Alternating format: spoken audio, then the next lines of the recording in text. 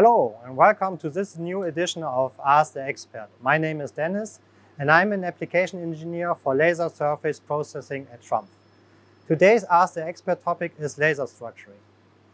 What is laser structuring? How does structuring work? Why do I need structuring? What kind of equipment will be needed?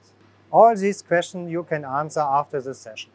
Laser structuring is a process which uses laser radiation to create regularly arranged geometries on material surfaces. By using precisely controlled laser pulses, materials is melted and solidified to create defined surface structures. Applications such as adhesive preparation friction control and metal to plastic joining are most successful when using specially prepared surfaces. Laser structuring offers clean, fast and convenient non-contact surface structuring as an alternative to conventional sanding, sandblasting, chemical etching or milling.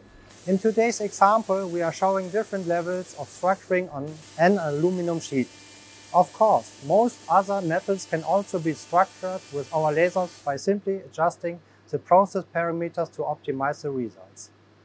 Different laser parameters are required to achieve the different structures, designs and level of roughness. These parameters include power and pulse energy, pulse repetition frequency and process speed.